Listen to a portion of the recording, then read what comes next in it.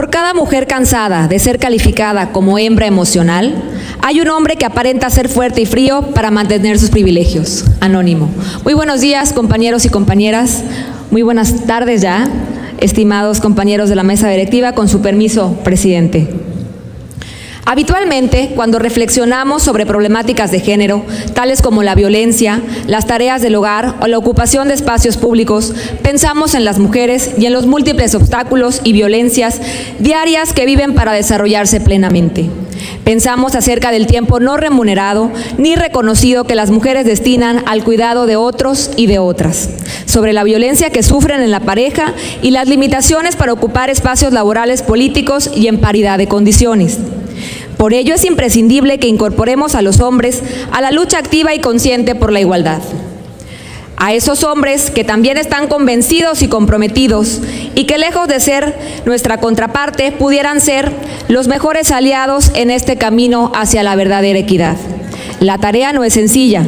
El camino a la igualdad es complejo, precisamente porque partimos de posiciones desiguales en las relaciones de género. Sabemos que no pasaremos de la igualdad legal a la real sin la implicación de la mayoría de los hombres en el diseño y construcción del futuro compartido. Es por ello que esta iniciativa es una muestra de ese trabajo que hombres y mujeres podemos hacer juntos. Y agradezco y reconozco el trabajo de mi compañero diputado Chanito Toledo, porque así le gusta que lo llamemos, de haber tomado la palabra cuando en esta misma tribuna hicimos un llamado a todos a tomar en cuenta a las mujeres dentro de la Junta de Gobierno y Coordinación Política. Tomó nota y él y su equipo de trabajo de inmediato convirtieron ese llamado que hicimos las compañeras diputadas en una iniciativa. Materializó nuestro sentir. Y después nos invitó a subirnos, a sumarnos a esta iniciativa y a aportar nuestra parte de mujer y de género para enriquecerla, trabajarla y volverla una realidad. Te agradezco, diputado, a ti y a todos, por supuesto también a tu equipo, por ser hombres que tienen muy claro que sin igualdad no hay nada. Como mujer interesada en la vida política de mi Estado, como candidata que salí a caminar y a ganarme el voto y la confianza ciudadana, y que tuve la oportunidad de conocer y entender el justo reclamo de nuestra gente, puedo decirles con toda certeza que ahora, como diputada y presidenta de la Comisión para la Igualdad de Género de esta decimosexta legislatura, tengo muy claro que únicamente aprendiendo a escuchar y a recibir las críticas es como avanzaremos hacia una sociedad más justa e igualitaria. Estamos en el momento y en el lugar para garantizar el respeto del mandato de la paridad política. La igualdad política es una premisa fundamental de la democracia. La democracia sin mujeres es una democracia a medias. Nosotros y nosotras como líderes y representantes de las diferentes fuerzas políticas somos actores y actoras del cambio.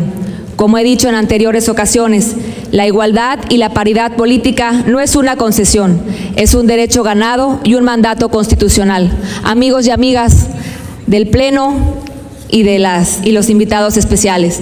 Aclararles que esta iniciativa no tiene más fin que integrar a las mujeres en la, en la jugocopo, de que la igualdad sea sustantiva, de que haya tantas coordinadoras como coordinadores, de que próximamente en las siguientes legislaturas y por qué no en esta misma veamos en conjunto a una presidenta o presidente de la mesa directiva frente a una presidenta o presidente de una junta de gobierno y coordinación política, es decir, que haya paridad en la importancia de los cargos que dentro de la Jugocopo y dentro de las coordinaciones políticas de los partidos, desde el momento de la toma de protesta, sea real esa igualdad y se le dé el espacio político que las mujeres merecen. No porque no reconozcamos el derecho que tienen los hombres, por supuesto que sí. Solo estamos pidiendo lo justo, lo que nos corresponde. En la calle, en las colonias, afuera, pedimos el voto por igual. Merecemos aquí también tener la toma de decisiones por igual. En Quintana Roo se está gestando el cambio.